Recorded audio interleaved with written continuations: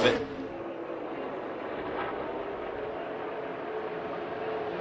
Yeah, he's got to get to the top. The top's going to have the biggest energy here. Mm -hmm. 21's going to come with a huge shove. They are two and three wide behind him. Crossover. That's comes. Austin Hill oh, in the 21. Big crash. Up and over. Caution is out. That's Myatt Snider.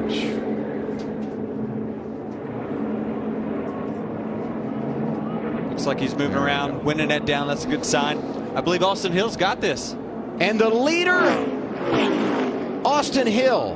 But keep this in mind. We freeze the field when the caution comes out on the final lap. So NASCAR will have to review to determine who was leading when the caution came out. And, and, we'll do everything we can, all the video we have available to make sure who was leading. Was it the 21 or 16?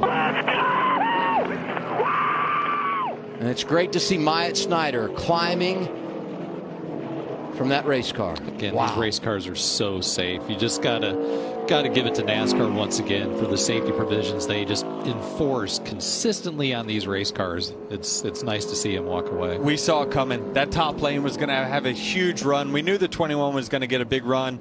The top lane typically on the final lap gets that big push, and I and I think he, he, he is the winner. First career victory.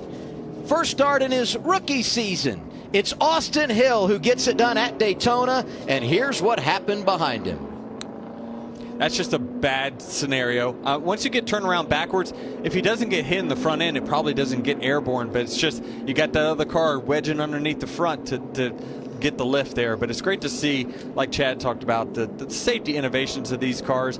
You know, to, to see Myatt just walk right out, that's a, a great sign. And I would be anxious to see how close it was at the time of caution. Because look right here, it looks like the 16's out front. Whew, it had to be really close. Yep. The caution wasn't out at that point when they left our screen, so he was clearly ahead by the time he left the bottom of your monitors on television. But unfortunately, Anthony Alfredo getting into the back of the 31 and creating that issue. Wow. I mean, look at that Gosh. car. And look at the grass that's I mean, flying in front of him. Where's the engine?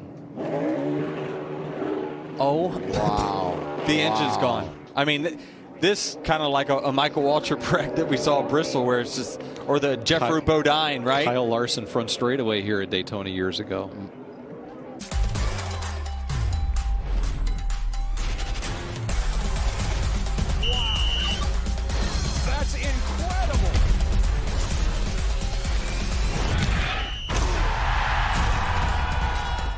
Race fans, thanks for watching our video. For all NASCAR on Fox News, content, and the best clips from Fox Sports, be sure to follow and subscribe to our channel.